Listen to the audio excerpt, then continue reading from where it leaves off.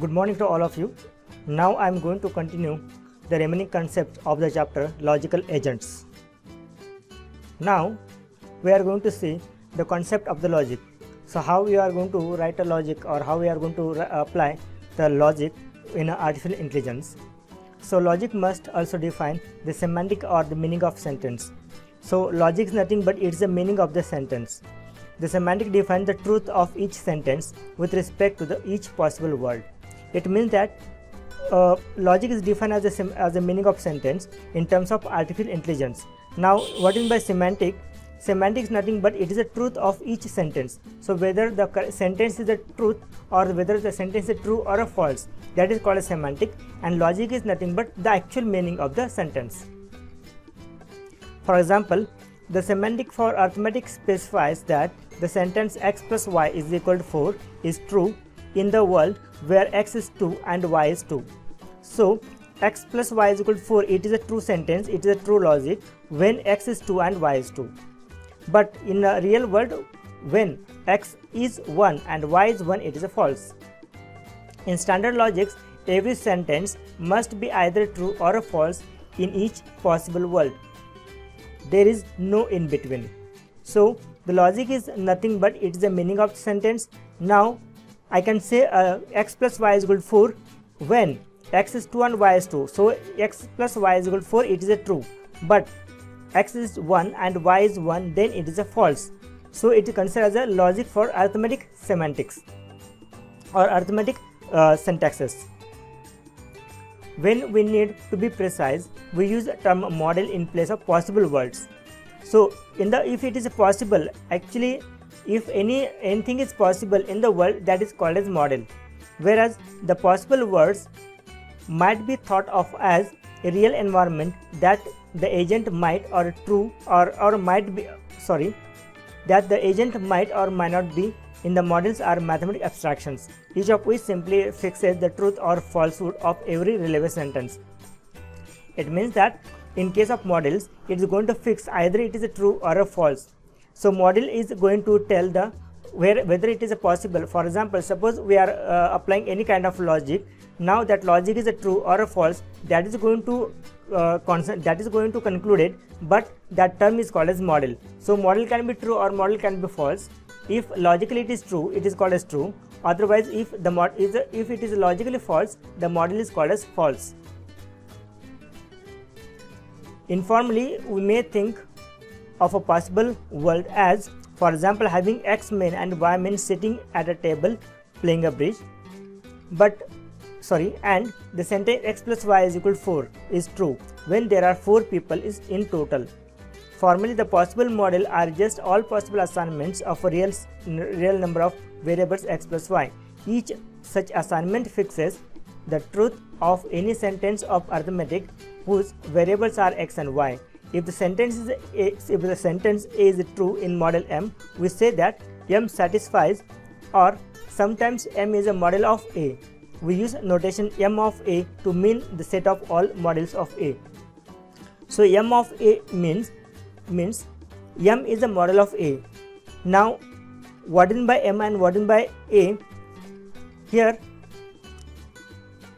A is a sentence. So, A is a sentence. Now, it is becomes true in the model M. Now, model is nothing but whether it is possible in the scenario or not. That is called as model. Now, the relation of logical entailment between the sentences it is the, the idea that the sentence follows logically from another sentence. So entailment is nothing but when we are concluded one sentence from another it is called as logical entailment. In mathematically you can write like this. So a sorry uh, alpha entails beta. It means that from alpha we can derive a sentence beta. To mean that sentence A entails sentence to mean that the sentence alpha entails the sentence beta. So here it is a not A, it is a alpha, alpha entails beta. The formal definition of entailment is A alpha entails beta if and only if every model in which alpha is true, beta is also true. It means that the beta sentence is derived from the alpha alpha sentence. Using notation US introduced, we can write a code like this. alpha entails beta if and only if m m of alpha is a subset of m of beta. Now consider situation as shown in the figure. Now we have we will see that figure. The agent has detected nothing. We have seen this figure previously. The agent has detected nothing in 1 1 that is position 1 first row first column and a breeze in the second row first column. These percepts combined with the agent's knowledge of the rules of the Wumpus world. We have seen the game of Wumpus world also. When we uh, picture out this Wumpus world scenario, the starting position is 1 is 1 1 first row first column. So we have not detected anything in the in this position but we have detected a breeze in the position like in the position 2 1 second row first column. And that constitutes the kb that is knowledge base. So the knowledge base is what? In the first position or in the first row first column there is nothing that is a knowledge. And in the second row first column there is a breeze. That is also knowledge. So, so together that going to constitute agent's knowledge base the agent is interested in whether the adjacent squares that is first row second column second row second column and third row first column contain the pits. Each of the three squares might or might not contain a pit so that there are 2 raised to 3 here is not a 23 there are 2 raised to 3 is equal to 8 possible models.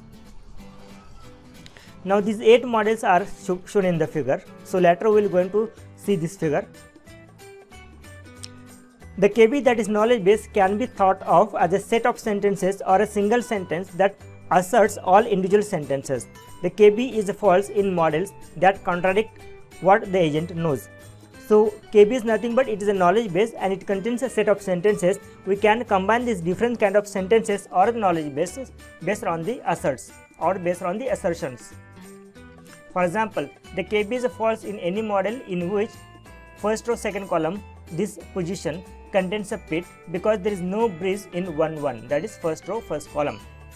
There, there are in fact just 3 models in which the KB is true and these are shown surrounded by a solid line in figure 7.5. Now let us consider two possible conclusions. We can conclude two ways.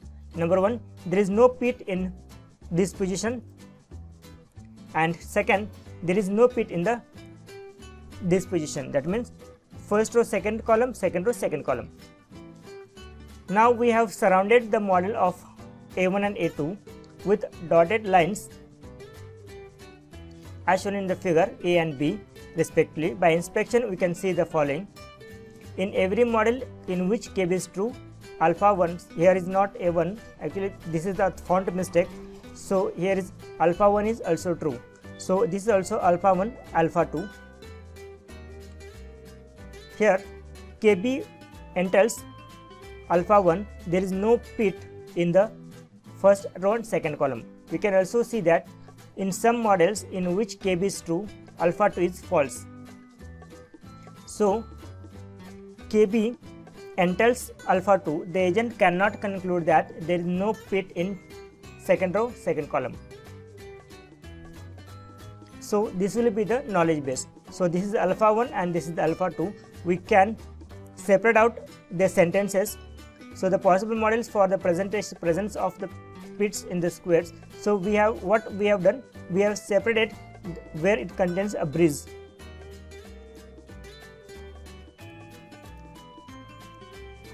Now we will see the next concept that is propositional logic. Now how we, the propositional logic is uh, mentioned or how the propositional logic is presented and how it is applied in the artificial intelligence. The syntax of propositional logic defines the allowable sentences. The atomic sentence consists of a single propositional symbol. Each such symbol stands for a proposition that can be either true or false. So atomic sentence means either one sentence, either one sentence. Atomic means one, so it contains only one prepositional symbol. There are two preposition symbols with fixed meanings. True is always always true preposition and false is always a false preposition. So the propositional logics are one as atomic. If it is an atomic, it can be either true or false. It means it means that it cannot be both true and false. So a sentence can be either true or false that is called as atomic sentence. Now the complex sentences are constructed from the simpler sentences using parentheses and logical connectives. So from the simple sentences we can create a complex sentence. There are five connectives in common. Now this is a not connective. A sentence such as not W13 is called as negation of W13. That means this sentence is nothing but negation. A literal is either an atomic sentence or a positive literal or a negated atomic sentence that is negative literal. Second that is and. A sentence whose main connective is and such as W13 and P1, P, P31 is called as conjunction. Its part are called as conjuncts. So whenever we are going to combine two sentences or whenever there is a logic where we have to apply and we can use a symbol like this. So this is called as conjunction. Second is or. So this V is nothing but it is or sentence. A sentence using V such as W13 and P31 or W22. It is a disjunction. So this or symbol is nothing but it is a disjunction. So either of the sentence should be true so whenever we are going to use a disjunct, disjunct that means either either of the two sentence or either of the multiple sentence only one should be true. Now this is called as implies. Implies means it means a sentence such as W13 and P31 implies negation of 22 is called implication. Implication means it means that or conditional. It premise or antecedent is W13 and P31 it, and its conclusion or consequent. Now next that is is negation W22 implication are also known as rules if then. So is negation is negation means if then set statement. For example, if this is true then we have to proceed like this. So like this we can use a sentence if then the implication symbol sometimes written in this in other books are like this also it means that it, the rules are or if then if then statement now this is the symbol for if and only if the sentence w13 now w13 is position. If and only if negation of w22 is a biconditional.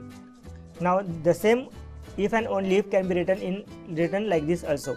So this is also if and only if and this is also if and only if. Now here is the basic structure. How uh, these symbols are, are how these logical symbols are used while presenting our propositional logic whenever you want to represent a sentence a sentence can be atomic sentence or sentence can be complex sentence atomic sentence means either true or false and complex sentence means there are multiple atomic sentences or simple sentences. By combining these simple sentences, we can create complex sentence. Now atomic sentence can be true or false. So like this you can represent it. Complex sentences can be one sentence or multiple sentences. Now this is the negation and or implies and if and only if. So the order of precedence will be like this.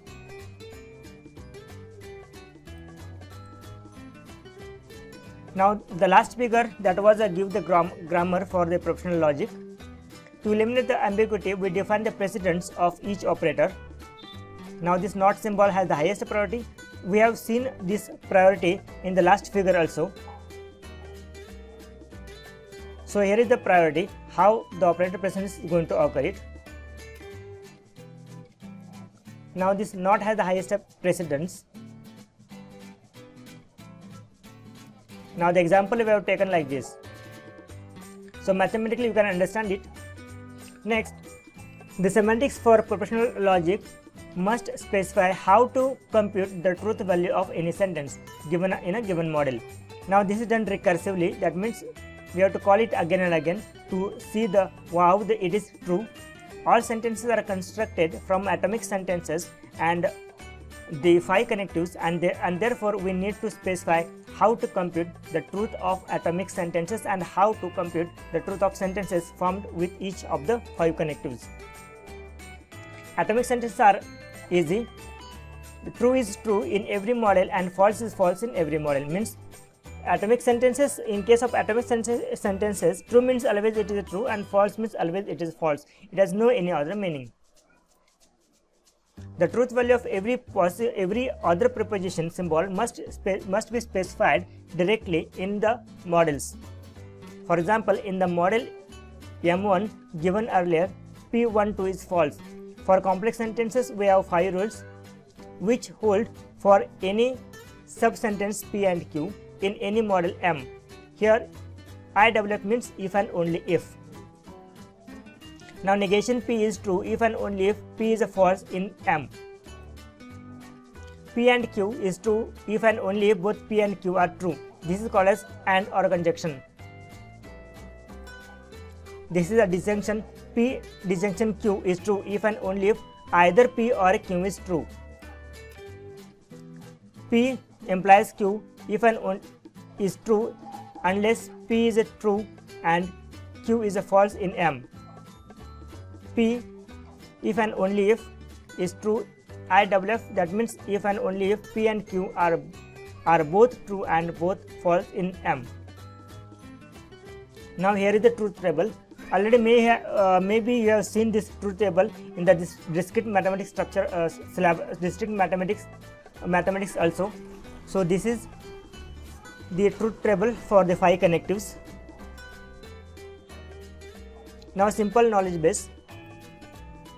We can construct a knowledge base for Wumpus world.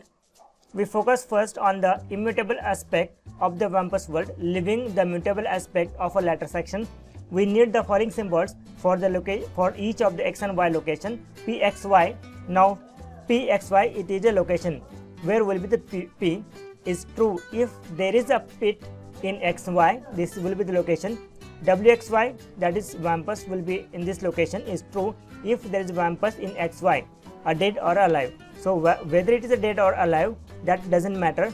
But wxy that is going to represent the position of the Wumpus and pxy it is represented by the position of the pits bxy is true if the agent perceives a breeze in xy Sxy is true if the agent perceives a stench, a stench in xy. The sentences we write we suffice to derive negation p12 there is no pit in position 12. We label each sentence Ri so that we can refer them that is there is no pit in 11. So R1 negation p11 there is no in the position R1 there is no pit in the position R1. A square is a breezy if and only if there is a pit in the neighboring square. This has to be stated for each square. For now we conclude just the relevant squares. Now R1 implies or R1 we are giving the value R, R sorry we are giving the value R2 to B11 implies P12 conjunction P21 so whatever the value of this expression it is assigned to R2. Now here R2 is nothing but it is a result and this is the expression. Whenever it, this expression is going to evaluate the result is applied to R2. Next R3 this, this expression is evaluated and result, result is applied to R3. The preceding sentences are true if in all Wumpus worlds now we can conclude that the bridge percept for the first two squares visited in the specific world the agent is, is in, leading up to the situation in figure 7.3b. Now here will be the R, R4 and here the last that is R5. So like this the expressions are evaluated and the result is assigned step by step. Now preposition theorem proving the first concept is logical equivalence. Two sentences alpha and beta are logically equivalent if they are true in the same set of models. So we can write a logical equivalence like this. For example, we can easily show that P disjunction Q and Q disjunction P are logically equivalent. These equivalents play much the same role in the role in logic as arithmetic identifies do in the ordinary mathematics. An alternative definition of equivalence is as follows. Any two sentences alpha and beta are equivalent only if each of them entails the other. So, alpha logical equivalence B if and only if alpha implies beta and beta implies alpha. So this is called as logical equivalence. The second concept that that is the validity. A sentence is valid if it is true in all the models. So if a sentence is true in all models, it is called as it is the concept of validity. For example, the sentence P conjunction negation P is valid. Valid sentences are also known as tautologies. They are necessarily true because the sentence is true. Sentence true is a true in all models. Every valid sentence is logically equivalent to the true. What good are valid sentences? From our definition of entailment, we can derive deduct theorem. That is, for any sentence alpha and beta, alpha implies beta if and only if if the sentence alpha implies beta is valid. Sorry, this entails. Alpha entails beta if and only if the sentence alpha is equivalent to beta. Now hence we can decide that if alpha entails beta by checking that alpha implies beta is true in every model we are which is essentially what the inference algorithm is is, is shown in the figure. So it can be proved by alpha is equivalent to beta. Conversely, the deduction theorem states that every valid implication sentence describes a legitimate inference. Now, the final concept is satisfiability. A sentence is satisfiable if it is true in or satisfied by some models. For example, the knowledge base given earlier that is R1 disjunct R2 disjunct R3 disjunct R4 and disjunct R5 is satisfiable because there is there are three models in which it is true. Satisfiability can be checked by enumerating the possible models until one is found that satisfies the sentence. The problem of determining the satisfiability of sentences in propositional logic the problem was the first problem proved to be NP complete. Validity and satisfiability are of course connected if uh, alpha is valid if and only if negation alpha is unsatisfiable. Alpha is satisfiable if and only if negation alpha is not valid. Now we also have the following useful result alpha entails beta if and only if the sentence alpha disjunct negation beta is unsatisfiable. So these are the conclusions we have we can derive.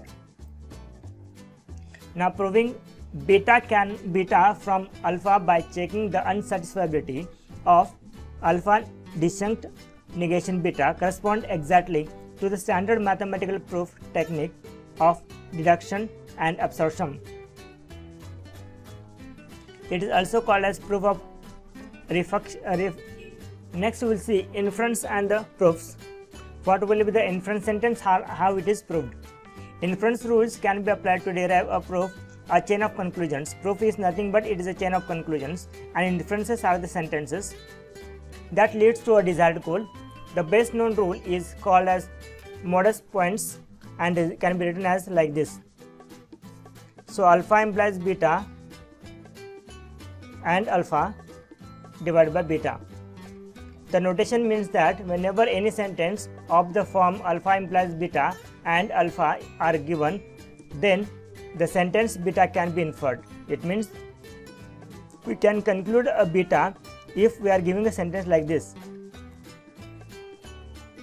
For example, if Wumpus ahead negation or sorry, Wumpus ahead disjunct Wumpus alive is equal to shoot. So if the Wumpus is ahead and or the Wumpus is alive, we have to shoot it. and Wumpus ahead, disjunct Wumpus alive are given shoot can be inferred. Another useful inference rule is AND elimination, which says that from a conjunction, any of the conjunct can be inferred. So this will be the alpha disjunct beta divided by alpha. Now for example, Wumpus ahead disjunct Wumpus alive Wumpus alive can be inferred. These rules can be uh, can then be used in any of the particular in instances where they apply, generating sound inference without the need of the enumerating models. All these logical equivalence is given in figure 7.11 can be used as inference rules. For example, the equivalence of biconditional elimination adds the two inference rules alpha implies beta so if alpha implies beta disjunct beta implies alpha and alpha implies beta disjunct beta implies alpha it means that alpha implies beta we cannot run modus ponens in the opposite direction to obtain alpha implies beta and alpha from beta we start with the knowledge base containing R1 result 1 through result 5 and shows how to prove negation of P12 that is there is no pit in 1 2. First we apply the biconditional elimination to R2 to obtain R6. So the next result can be obtained by deriving this. Now these are the logics we are going to apply when we are playing with the game Wumpus World. And we can apply AND elimination to R6 so whatever we have learned previously that we are that we are going to apply for the rules. The logical equivalence for contrapositive gives now this is the negation and this is the result derived and assigned to R8 result 8 so these are the various situations where we can apply uh, where we can derive different kinds of results. And finally we can apply De Morgan's rule giving the conclusion result 10 that is negation of P1, P12 and negation of P21 that is neither 1 2 or neither 2 1 contains a pit. To find the sequence of the step just consider proof we need we need to define the proof problem as follows. First we have to define the initial state that is from where it is going to start the initial knowledge or the knowledge base or whatever the initial knowledge of the particular domain. Second is actions. What are the actions we have to follow? The set of actions consist, consist of all inference rules applied to all the sentence that match the top hop, top hop of the inference rule. Next, that is result. The result of an action is to add the sentence in the bottom hop of the inference. Next, that is goal. The goal is a state that contains the sentence we are trying to prove. Thus, the searching for proof is an alternative to enumerating models in many practice in many practical cases. Second concept we are we are going to see that is agent based on propositional logic. Now what are the agents that is based on the propositional logic that we are going to we are going to see. Now already we know the agent, we know the environment, we know the sensors or receptors like this. So we are talking about the agents from that. The agent knows that the starting square contains no pit. That is negation of p11 there is no pit at the position 1 1 first row first column. So you can use a symbol like this. And no wumpus that is negation of w11 so w stands for wumpus and p stands for pit so 1 1 that means first position for each square it knows that the square is breezy if and only if a neighboring square has a pit so there will be breeze in the next square if and only if the neighbors have a breeze. And square is a smelly and square is, is a smiley if and only if a neighboring square has a wumpus. Thus, we conclude that conclude a large collection of sentence in the following format. So these are sentences we can derive or we can conclude. So the bridge B1 B11 implies that P12 the uh, conjunction P21. so like this we can make the conclusions now the agent also know, know, knows that there is exactly one wumpus it is expressed in two parts first we have to say that there is at least one wumpus so w11 conjunction w12 conjunction. So like this we can make the for all the squares. Then we have to say that there is at most one wumpus for each pair of location we add a sentence saying that at least one of them must be wumpus free so negation 1 1 conjunction negation 1 2 so we can make the conclusions like this. So all these sentence all these conclusions are based on the sentences. Now words do not need a time superscript and are sometimes called as temporal variables. We can we can we can connect Stench and Breeze percepts directly to the properties of the squares where they are experienced. Thought of location fluent as follows. For any time for any time step t and any square xy this is the location we assert lt so xy that was the location implies breeze t implies bxy breeze at position xy now these are the equations we can derive. Next point we will see that is hybrid agent.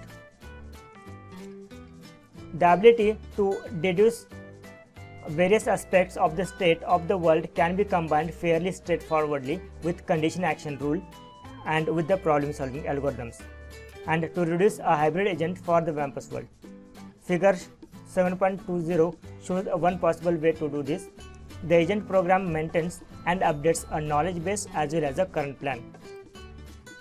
The initial knowledge base contains the temporal axioms, those that don't depend on T, such as the axiom relating the business of the square to the presence of the pits.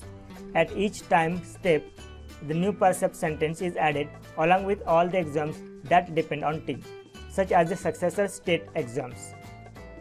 Then the agent uses logical inference by asking questions of the knowledge base to work out which square are safe and which have yet to be visited. The main body of the agent program constructs a plan based on a decreasing priority of the goals First, if there is a glitter, the program constructs a plan to grab the gold, follows a route back to the initial location, and climbs out to the cave.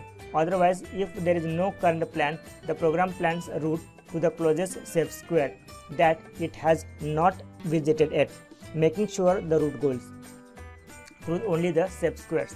So route planning is done with a star search with with not if there are no sub squares to explore, the next step, if the agent still has an arrow, is to make try to make a step square by shooting at one of the possible Wumpus locations.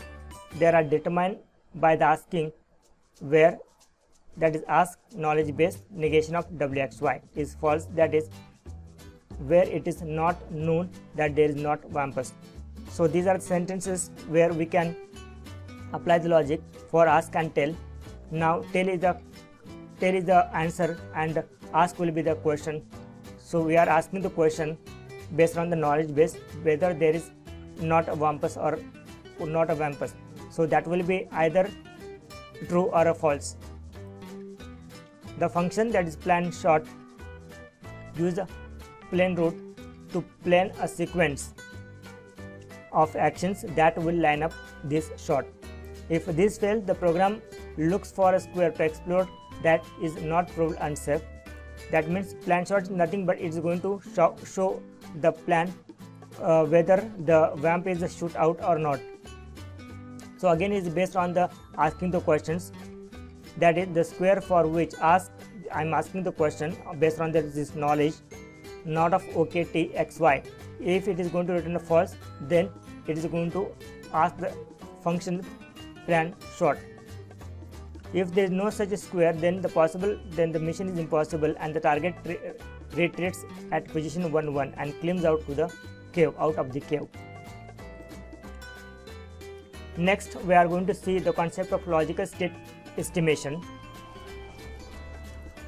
The past history of the percept and all the ramifications can be reduced by belief state, that is, some representation of the set of all possible current states of the world.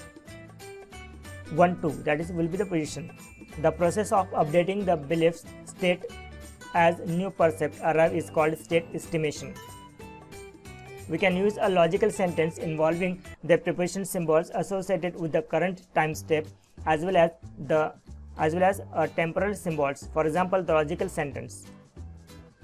Now the vampires alive negation. So this will be the expression. Now this expression is represent the set of all state at a time 1 in which the vampire is alive. So in which situations vampire will be alive. So this will be the expression for that the agent is at 2 1 the the square is busy and there is a pit in 3 1 or 2 2 or both so these are sentences we can derive based on the situation of this wumpus and pit maintain an exact belief state as a logical formula turns out not to be easy. If there are n fluent symbols for time t then there are 2 raised to n possible states 2 raised to n possible state that is assignment of a truth values to those symbols. Now the set of belief state is a powerest is a powers is a power set that is set of all subsets of the set of physical states. There are 2 raised to n physical states and 2 raised to 2 raised to 2 raised to n belief states. So here is this is not a 22 here is 2 raised to 2 raised to n. Even if we use the most compact possible encoding of our logical formulas with each belief state represented by unique binary number we would need a number that is log to the base 2 2 raised to 2 raised to n that is 2 raised to n fits to label the current belief state that is exact state elimination may require a logical formulas whose size is exponential to the number of symbols. So like this we can derive the logic for the state estimation means how the state is going to interact with the pits and vampers. Now this will be the entire uh, algorithm or the function for hybrid wumpus agent. So hybrid wumpus agent that will be the function where the action will be written and percept sequence will be the input so based on the knowledge we are going to tell or ask we are going to tell question and ask the question and we are getting getting the answer that is tell. Now this is one ncf the belief states how this the wumpus and how this the man is going to travel. So this will be the logic we are going to apply. Next point we will see that is making plans for propositional inference. Inferences are the sentences for our logical statements. Now in this section we, we show how to make the plans for logical inference. The basic idea is very simple. Construct a sentence that includes alpha initially 0, the collection of all assertions about the initial state. So initial state it is the starting position. We have to collect all the assertions or all the statements for the initial position. Now second the transition 1 now next will be how the first step of the transition how the trading step of the first position. Up to transition t the successor state exams for all possible actions at each time up to some maximum time t. Next that is assertion that the goal is achieved at time t. So have goal t or claimed out t. Second present the whole sentence to a SAT solver. If a solver finds a satisfying model, then the goal is achievable. If the sentence is unsatisfiable, then the planning problem is impossible. Assuming a model is found, exact from the model those variables that represent actions and assigned true. Together they represent a plan to achieve the goals. Now this will be the function for SAT plans. Now it implements the basic idea given just now. with two twists because the agent does not know how many steps it will take to reach the goal the algorithm tries each possible number of steps by making iterations up to some maximum conventional plan that is tmax so these these are going to travel a maximum tmax steps with iteration one by one now in this way it is guaranteed to find the shortest plan if one exists because of the way SAT plan searches for a solution, this approach cannot be used in a partially observable environment. So SAT plan that will be the function would just set uh, unobservable variables to the values it needs to create a solution. So this will be the function for SAT plan in it that initial position, transition, first step, goal and maximum steps. So these are the inputs and the return will be the solution that will be a failure or a success. So this was about the entire chapter. If you have any doubts, any question, you can put on the comments. Thank you.